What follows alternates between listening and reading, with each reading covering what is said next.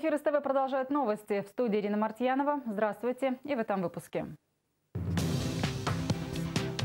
В Барселоне автомобиль въехал в толпу людей. Полиция уже назвала случившееся терактом.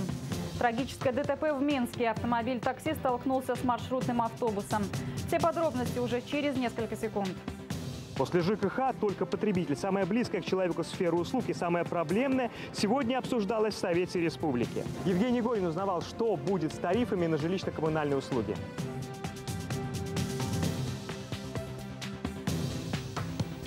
Что дешевле, кредит или рассрочка? Где продать излишки урожая? Что делать со старыми мусорными пакетами? Об этом и не только через несколько минут в экономическом обзоре Наталья Надольская.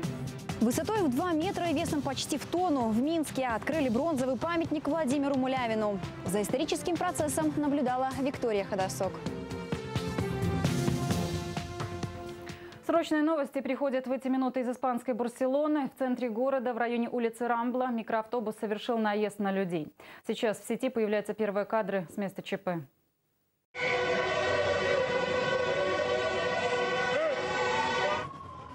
Сообщается о двух погибших, есть раненые. В настоящее время на месте происшествия работают сотрудники правоохранительных органов, которые оцепили площадь бригады скорой помощи. По некоторым сведениям, вскоре после инцидента в один из ресторанов города ворвались два вооруженных человека. По неподтвержденным пока данным, люди, которые наехали на прохожих, находятся в одном из баров. Помимо этого, очевидцы сообщают и о стрельбе на рынке города. Полиция э, назвала случившееся терактом. Мы продолжаем следить за новостями из Барселоны. В Минске выясняют обстоятельства трагической аварии, которая произошла сегодня утром. Автомобиль такси на въезде в город врезался в маршрутный автобус. В результате погибли двое, еще двое в реанимации. Татьяна Ревизори с места трагедии. Авария произошла в начале 8 утра на пересечении Минской кольцевой и улицы Мирошниченко. Рейсовый автобус поворачивал к диспетчерской станции, в то время как автомобиль такси въезжал в город. Таксист слетел на скорости, большой-большой. Машину склепало страшно там. Водитель, только были видны руки и голова чуть-чуть. А напереди вот женщина была, ее выбросила сразу. Глядя на груду искореженного металла, нетрудно представить, насколько сильным был удар. В машине такси находилось четверо. Заблокированные без сознания. На помощь водителю и его клиентам пришли спасатели. К сожалению, не обошлось без жертв. Девушка 19 лет. Она сидела на переднем сиденье, погибла на месте. Позже еще один пассажир, парень, умер в больнице. По предварительным данным, никто из пассажиров и водитель такси не были пристегнуты ремнями безопасности. По данному факту управлением Следственного комитета по городу Минску возбуждено уголовное дело по статье 317. В салоне автобуса в момент ДТП была только уборщица. Женщина, как и шофер на маршруте номер 24, не пострадали. Еще несколько часов пассажирские массы, смятая легковушка, находились в районе съезда с Кольцевой. Осмотр места происшествия проводили следователи, эксперты и сотрудники ГАИ. Фиксируются следы на месте происшествия, на основании которых был, будет назначен ряд экспертиз. Таксист и выживший пассажир сейчас находятся в Минской больнице скорой помощи. 30-летний мужчина и 19-летний парень поступили в тяжелом состоянии. В течение первого часа им оказана, на мой взгляд, высококвалифицированная медицинская помощь. В настоящее время больные находятся в реанимационном отделении. Состояние их ну, остается тяжелое, пока они на искусственной вентиляции легких. Несмотря на то, что состояние пациентов оценивается как тяжелое, доктора отмечают, прогноз однозначно благоприятный для обоих мужчин. Тем временем обстоятельства смертельного ДТП продолжают выясняться. Финальную точку поставит следствие. Татьяна Ревизория, Анастасия Хоботова, Сергей Васюкевич и Павел Латышев, телекомпания СТВ. На счету белорусских хлеборобов уже более 6 миллионов тонн зерна. По количеству обмолоченных полей в лидерах Южной, Брестской и Гомельской области. Самый весомый намолот по-прежнему остается у Минского региона. Здесь рассчитывают на каравай весом в 2 миллиона тонн. К лидерам жатвы накануне присоединились гродненские аграрии. У них в закромах тоже свыше миллиона тонн зерна. А в Могилевской области сегодня чествовали аграриев Шкловского района. Они первыми преодолели рубеж по намолоту в 100 тысяч тонн зерна. Здесь же и самая высокая урожайность в регионе. В среднем с одного гектара убирают по 52 центнера. В Шкловском районе 10 комбайнеров-тысячников и 5 водителей, перевезших с полей более тысяч тонн зерна. На этой уборочной у нас урожай намного больше. Ну, ну, тяжелее, як сказать, привыкший уже, но больше настроения, радости больше убирать. В бункер сыпется отлично, жалоба день и ночь. Мы планируем еще не меньше 30 тысяч тонн э, собрать хлеба. Особых проблем в этом году с уборочной компанией нету. Техника подготовлена, э, топливо с помощью государства, все организации обеспечены. Вслед за Шкловским 100 тысяч тонн зерна должны намолотить в Могилевском районе. Высокую планку там намерены взять сегодня к концу светового дня. Основные работы по уборке с полей зерна в Могилевской области планируют завершить до 20 августа. Торопятся и витебские аграрии. Подмочить репутацию северному региону нынешней ночью не, не удалось даже проливному дождю. В поля комбайны вышли чуть позже обычного. Правда, нюансы в работе с мокрым зерном все же есть. Какие, знает Анастасия Буд. Ливень, который нынешней ночью обрушился на Витебскую область, несколько изменил привычный график работы аграриев. Несколько часов комбайны вынуждены были простаивать в поле в ожидании, пока солнце подсушит колоски. Мокрое зерно плохо просыпается через решето комбайна, а солома хуже срезается. В итоге увеличиваются потери. Стальной хватке погрузчика непогода не мешает работать. Под проливным дождем или палящим солнцем Александр Чижиков стабильно убирает спрессованную солому. По 100 тонн делаем день. Работаем с 7 там, до 9. Но если уже большой дождь идет, тогда сыро могут это, тракторами резать поле тогда. А так помехи большой нет. Сын механизатора пошел по стопам отца и сейчас на практике в том же хозяйстве. Вместе с коллегами отвечает за исправность техники. И вот уж кому на руку несколько часов простое, так именно автомеханикам. Мы производим своевременное ТО, чистим комбайны, просматриваем все узлы, чтобы техника в поле вышла полностью готовой, чтобы не было простоев на поле. Круглосуточно кипит работа на зерносушилке. Производительность комплекса до 480 тонн. Хозяйство Рудакова в этом году радует и сухость зерна 17%, и его урожайность почти 63 центнера с гектара, на треть выше прошлогодней. Чистого продукта получили более 7 тысяч тонн. Комитетом поставлена задача подготовить 900 тонн семян в план для Витебской области. На сегодняшний день засыпано уже 400 тонн, это один сорт. И остальное будет э, второй сорт. Буртуем и укрываем пленкой, чтобы э, зерно не замыкало. Дождь, в принципе, не мешает. Во время селекторного совещания президент поставил задачу завершить уборку до 20 августа. Южные регионы страны стремительно приближаются к финишу. На севере несколько запаздывают. Сегодня здесь убрано чуть более 50% площадей. Вал зерна 550 тысяч тонн. Витебская область намерена намолотить не менее миллиона. Анастасия Буд, Сергей Ковалкин, телекомпания СТВ. Витебская область. Ну а столичный регион сегодня поздравляет первых трех тысячников. Это братья Антипцевы. Работают комбайнеры уже много лет в хозяйстве Рачковичи Слуцкого района. Отмечали их работу не раз. Братья каждое лето вносят свой вклад в общий каравай. Старший Александр круглый год трудится в хозяйстве под Слуцком. Младший Владимир работает в Минске, но из года в год на сезон уборочный берет отпуск и возвращается в родные поля. Эмоции хорошие, впечатляющие. Жать нравится, еще можно пожать. Не, не стремимся быстрее закончить. Полей еще много. Пожнем. поле нельзя выходить без настроения. Должно быть настроение хорошее, боевое. Жали каждый день с утра, это техника не подводит. Вот и нажинаем. Аграрии области собрали уже полтора миллиона тонн зерна и убрали 80% сельхозугодий. И это фактически финишная прямая. Что будет с ценами на тарифы? Одной из самых волнующих тем для белорусов обсуждали сегодня в Верхней Палате парламента. Напомним, что с января в стране планируется стопроцентный уровень возмещения затрат по всем услугам ЖКХ, за исключением тепловой энергии. В этой связи в разговоре приняли участие и представители регионов. Все подробности у Евгения Горина. Каждый день на полигон «Северный» привозят по 300 машин мусора. Это одна из трех больших урн Минска. Работает с 81 года. Сейчас уже на пределе. 30 сентября полигон примет последнюю тонну отходов. В дальнейшем эти э, автотранспорт с этими отходами, которые послал на этот полигон, будет перенаправлен на полигон Тростенецкий и Прудищ. Полигоны справятся, но срок эксплуатации полигона Тростенецка сократится в два раза.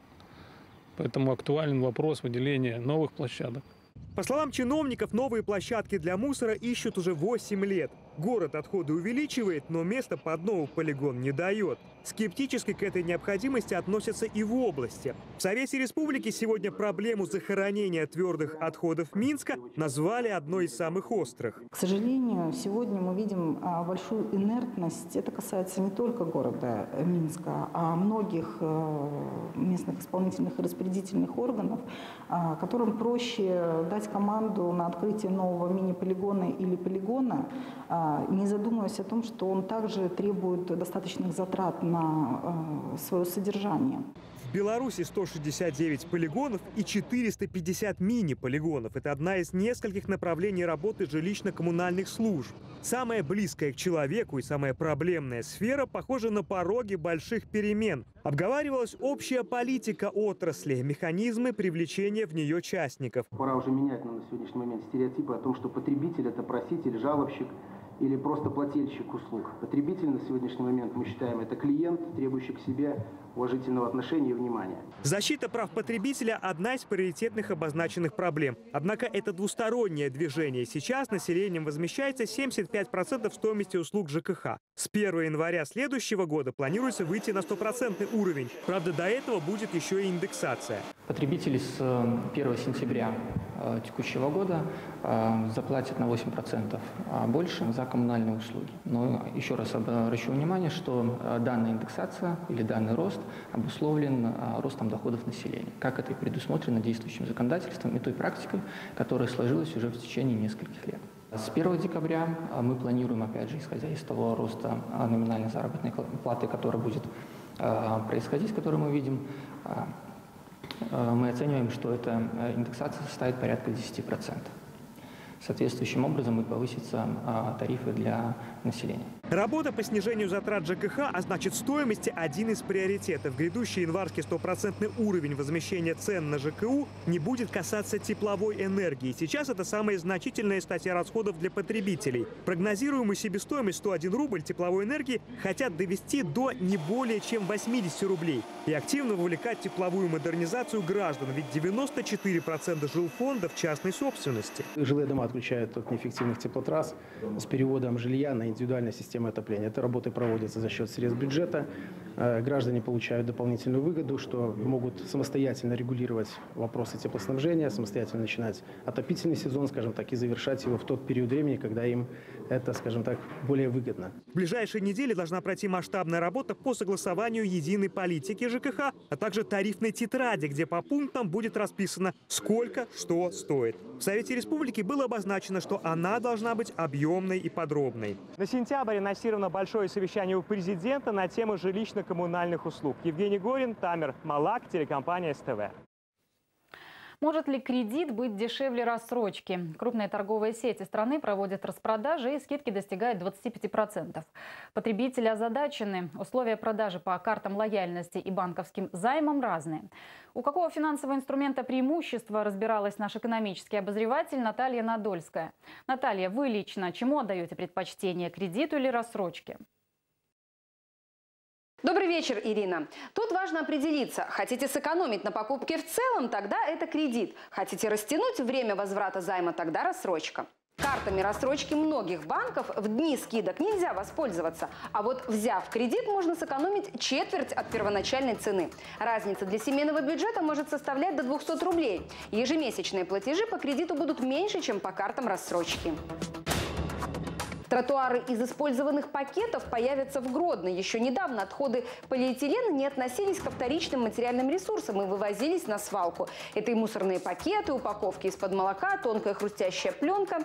На новой линии завода по сортировке вторсырья все эти отходы измельчаются, перемешиваются с песком. Полученная смесь отливается в форму в виде тротуарной плитки. Просто, экономично, экологично и недорого.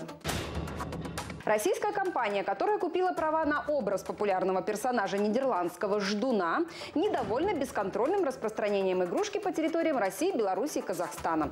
Белорусские производители парируют. Отечественный ждун просто похож на заморского. Изначально идея была сделать морского слона. Специалисты по авторскому праву рекомендуют предпринимателям, которые используют в производстве образы известных персонажей, получить на это разрешение правообладателя. Проще заплатить, чем снимать товар с производства.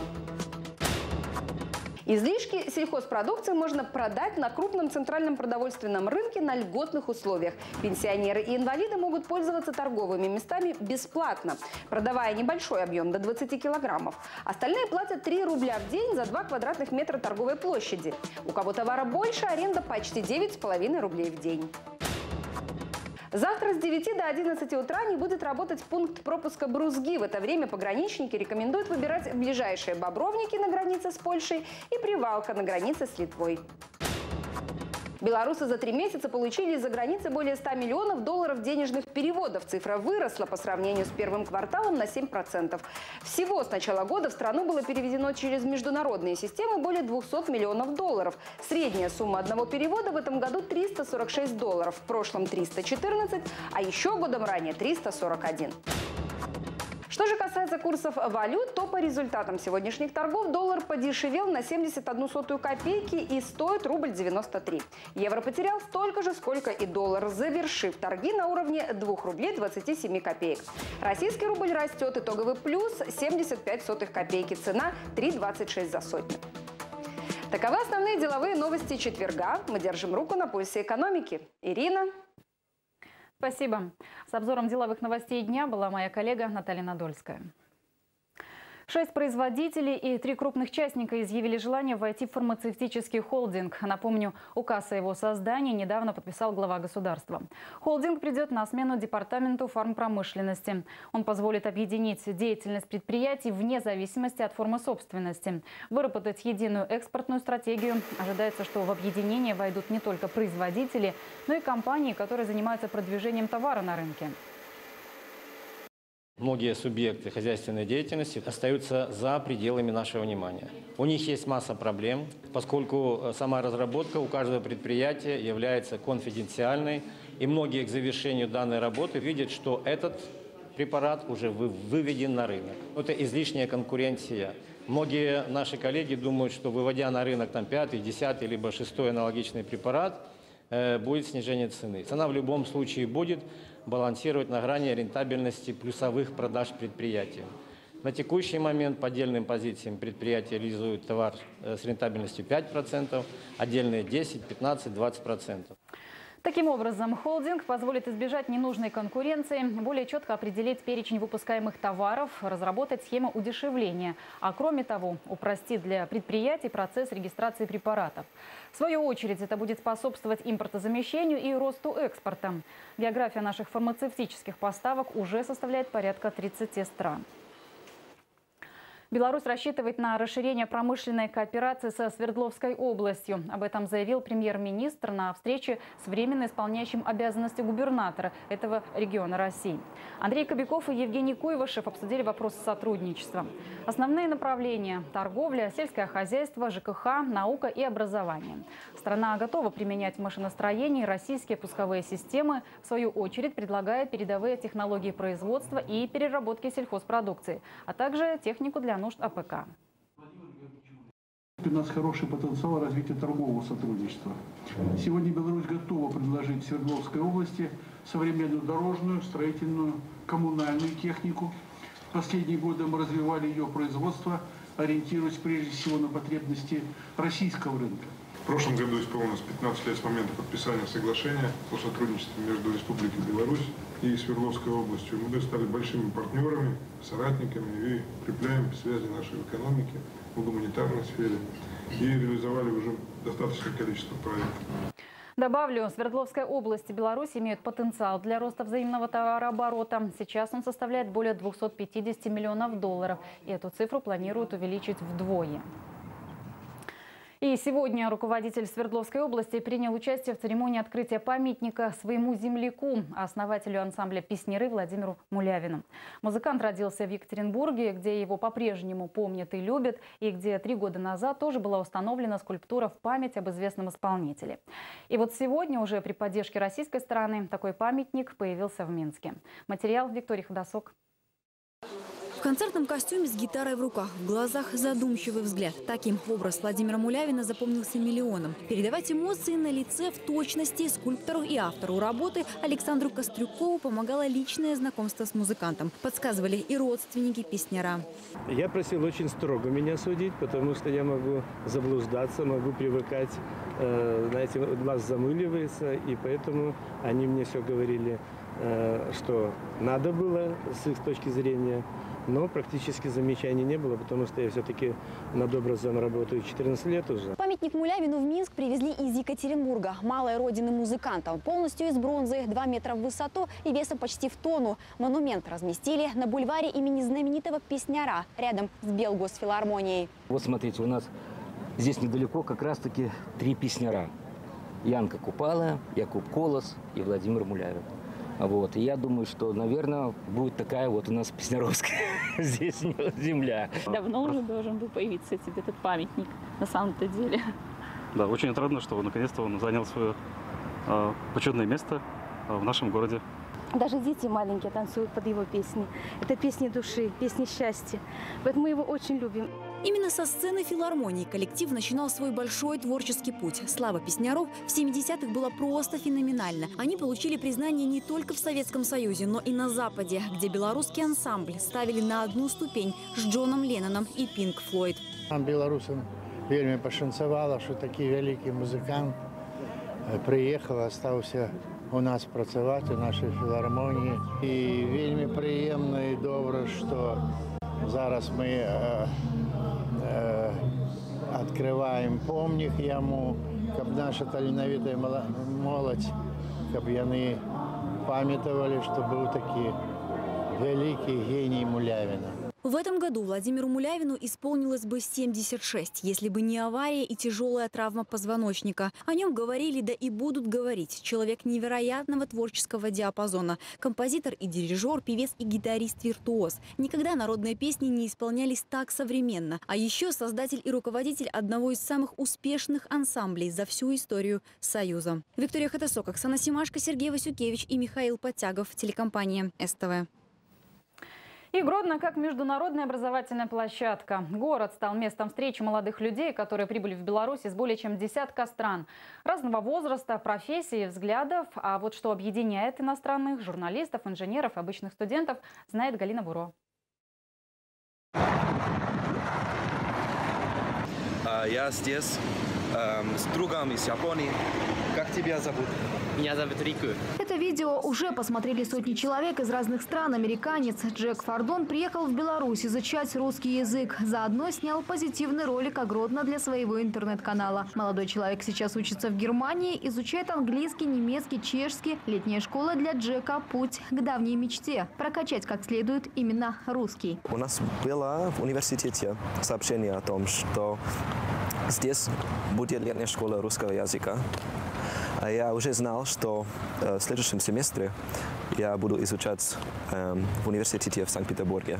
Из этого я хотел немножко ну, улучшить русский. Итальянец Джерардо Чинама, как обычно, самым первым пришел в аудиторию. Уж очень ему хочется освоить довольно сложный для иностранца русский язык. Парень увлекается спортом и планирует стать переводчиком в футбольном клубе. А там надо знать несколько языков. Говорит, в вопросе русских падежей и окончаний выручает классика. Толстой, конечно. И э, моя, моя любимая э, книга э, Анна Каренина. Вы на русском читали? Э, Нет, по-итальянски, но я надеюсь, что я, я, буду, я буду читать Анну Каренину э, по-русски. Среди учеников летней школы поляки, японцы, французы, пакистанцы. В основном о курсах они узнали через университеты в своих странах, с которыми дружит Гродненский вуз. И все же, почему именно в Беларусь едут изучать русский язык? Руководители проекта уверены, успех в грамотно составленной программе. Для иностранца Беларусь – это несколько новая страна, незнакомая страна, или, во всяком случае, не так знакома, как э, Россия. Изучая язык, они знакомятся с новой для них культурой. И действительно, участники школы в Гродно получают немало бонусов. Новинка этого года – изучение еще и белорусского языка. Это было пожелание самих участников предыдущих летних школ. Кстати, иностранцы говорят, что им нравится именно мелодичное звучание нашей мовы. Я закоханий у Беларусь. При этом каждый день здесь приправлен белорусским колоритом, экскурсии по музеям, изучение национальной кухни и старинной архитектуры. А пока мы снимали этот сюжет, снимали и нас. Джек Фордон готовит очередной ролик о белорусской жизни, в этот раз с участием нашей съемочной группы. Галина. Галины. Да, Галины, спасибо. Эм, от телекомпании СТВ. Да. Национальная А мы- телекомпания. Галина Бурова, Анатолий Бояринцев, телекомпания СТВ, Гродно. И в завершении выпуска мы возвращаемся к событиям в Барселоне. Напомню, в Испании фургон въехал в толпу людей. Как нам сообщили в белорусском посольстве в Испании, сейчас наши дипломаты установили контакт с местной полицией, чтобы выяснить, есть ли среди пострадавших граждане Беларуси. На этот момент известно, что на улице Рамбла проводится спецоперация. По неподтвержденным пока данным, несколько вооруженных человек забаррикадировались в одном из ресторанов и удерживают заложников. Очевидцы говорят, что слышали выстрелы. Появилась информация об одном погибшем. Около 20 человек ранены. Нам также удалось установить связь с нашим соотечественником, студентом из Минска Павлом, который сейчас находится в Барселоне. Павел, здравствуйте, вам слово. А, Нам так получилось, что мы оказались э, в этот день э, в Барселоне. А, Совершенно недалеко от нас э, происходит в данный момент теракт. По последним сообщениям, несколько людей держат в заложниках. Достаточно страшно, потому что только вот недавно мы еще гуляли по этой улице, и только вот судьба нас спасла от того, что сегодня мы на этой улице на Рамбле не оказались. Если сейчас смотреть на настроение людей, то сейчас действительно много людей переговариваются друг с другом, и ну, наблюдается паника. Но она здесь должна быть, это абсолютно нормально. Спасибо. К событиям в Барселоне мы вернемся в итоговом выпуске новостей в 22.30.